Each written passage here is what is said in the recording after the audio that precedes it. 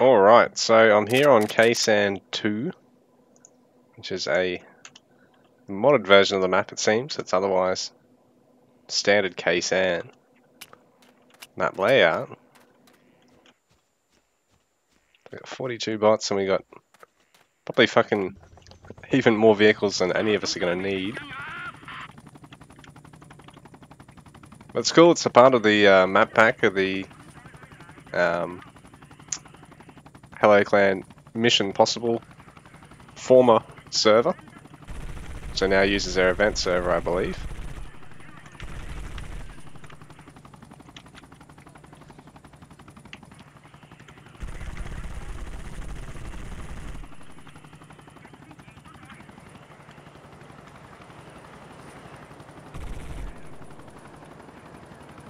Oh, okay, so there is a couple more buildings here. Changed out. The space is a bit of a different layout.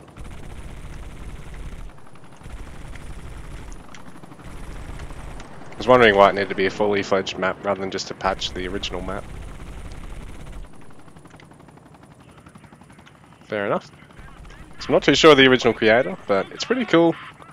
It's going to be a little bit more of an action-packed Khe Sanh, because one of the problems is it's a little bit too big for infantry play, and because it is such an open map, you know, helis in particular really just fucking destroy infantry. Oh shit, locked on the wrong thing. Oh, shot him out anyway, it didn't matter.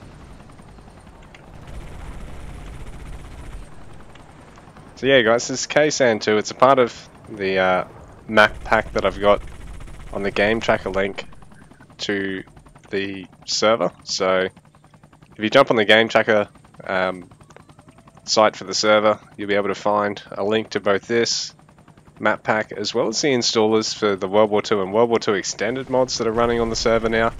Um, I do have all the default uh, Vietnam maps co-op running as well. But I just thought I'd add all this content because it just gives us a little bit more to do for those of us that have been playing for a little bit longer and aren't really afraid to, you know, install custom content.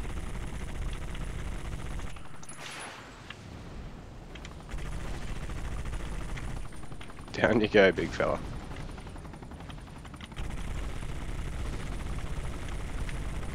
Oh, that's right. There's no armor piercing on heavy ground vehicles. We're going to have to use that. Which is not impossible. There we go.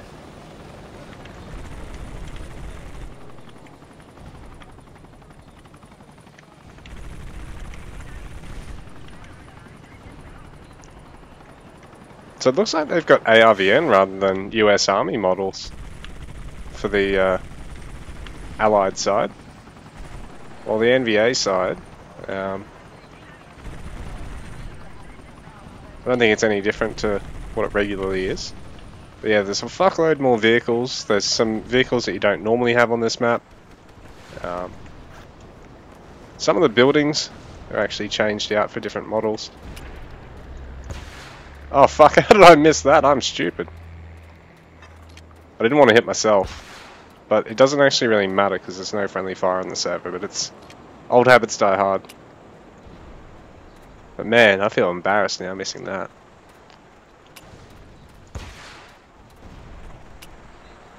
Alright, I'll put the RPG away before I embarrass myself any further. What's this old thing? This looks like it was built for fucking World War II. It sounds like it as well.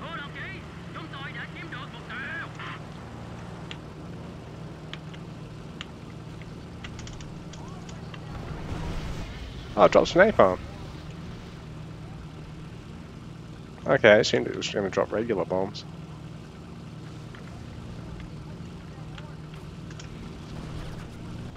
Oh, you missed everything then.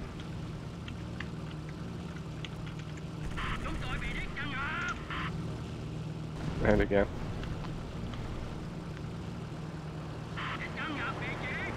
But yeah, check it out guys, go to the game tracker link for the server um, if you want to try and jump on the custom side of it.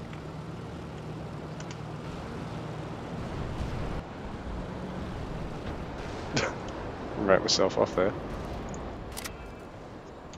It's pretty cool. There's helis down now at this base. And so the reason why this has got to be a standalone map rather than just a Khe Sanh uh, map update is, yeah, there's more actual object assets way down this way. The players wouldn't actually be able to see all this changed um, without the map. So it'd be really awkward, you know, if it was done as a patch. Even though it would be doable, um, it'd be ugly as fuck because players wouldn't actually see like the water tower or anything. Or this, like the helipad or anything. I think that might even be raised. I'd literally see this floating in midair. These helipads that have been raised. Whoa, that thing's massive. Can we shoot it down? I reckon if I get a bit closer. No need. Got shot down already.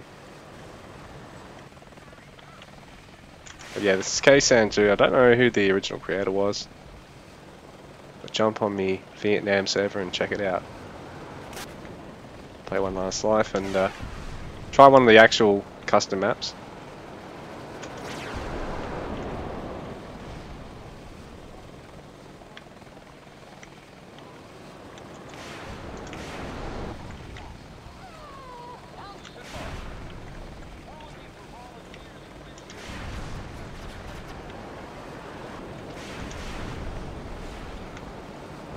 It's called Khe Sanh 2, but it's more like a pre-sequel in terms of the layout.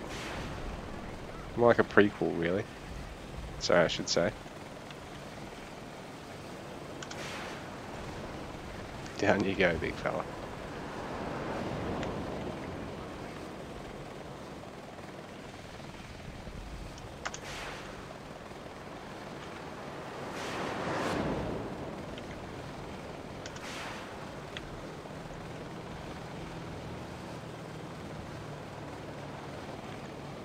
Yeah, I might as well switch maps. What else we got here?